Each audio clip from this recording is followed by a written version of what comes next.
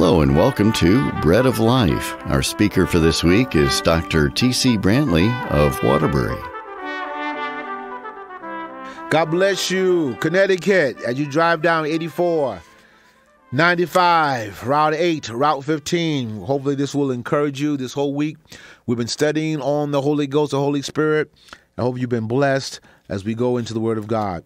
We're going from, coming from First Thessalonians chapter 5 and verse 19.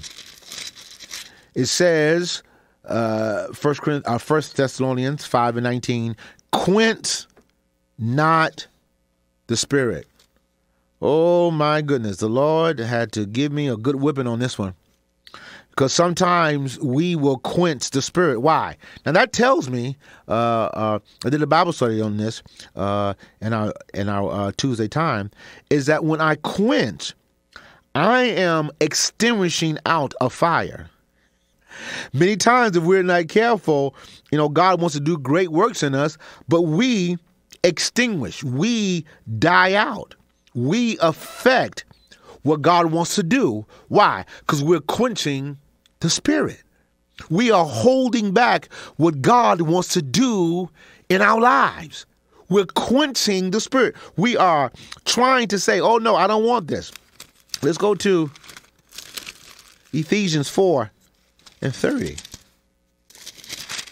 Ephesians 4 and 30 says, And grieve not the Holy Spirit of God, whereby ye are sealed unto the day of redemption.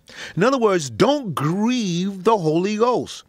Don't stifle, don't put it down. When you quench the Spirit, you're telling God no. You are telling God no. Do you understand the magnitude of that? You saying to God, nah, I don't want it. Oh, really? you don't want God? You want to uh, uh, uh, extinguish? And many of us, and uh, the, this revelation God gave me, uh, you know, for me, but I give to everyone else. When I am depressed, that's a good sign I extinguished the Spirit of God. Let's go to Psalms 51 and 11. What does it say? Cast me not away from thy presence, and take not thy Holy Spirit from me. Do you understand that? When I don't allow, I hope I'm helping somebody right now. When I don't allow the Spirit of God to take over, I go to a cold place. I told you in the Greek, the word quench means there's a fire that is taken out.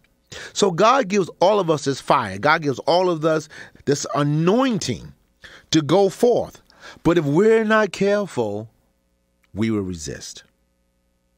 Last scripture, Acts 7.51, it says, Ye stiff-necked and uncircumcised in heart and ears, ye do always resist the Holy Ghost as your father did. So people of God, in essence, as I close the book for this week, do not extinguish the Holy Ghost.